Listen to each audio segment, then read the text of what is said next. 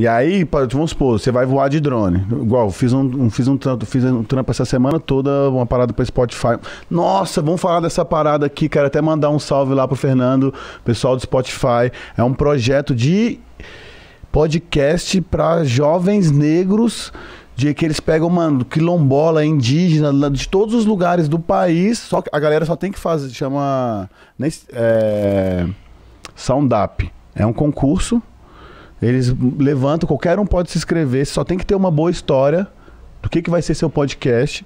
E aí eles selecionam, selecionaram várias pessoas e traz para São Paulo, fica a semana inteira fazendo treinamento, ganha todo, ganha esse mic, ganha tudo, tudo que você precisa para um podcast, treinamento e tipo assim, são pessoas simples, mano, jovens negros que não teriam voz em lugar nenhum.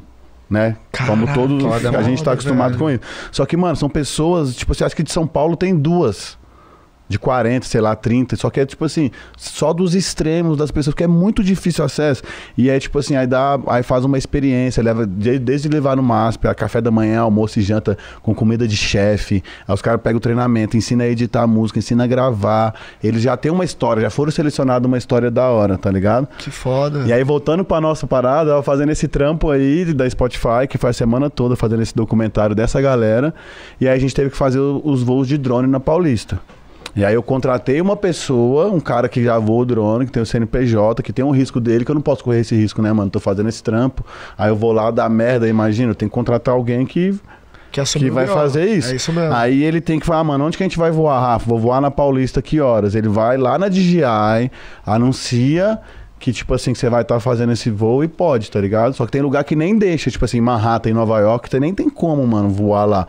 Você pode voar na loucura, assim, desse pequenininho que tem, mas, mano, pode te dar uma merda se você estiver na rua e você Mano, pega. Pra mim só dá merda se, tipo, der merda. Porque ninguém vai Não, ficar. cara, sabe por quê? é, Porque existe vigiando um... os drones, não, mano.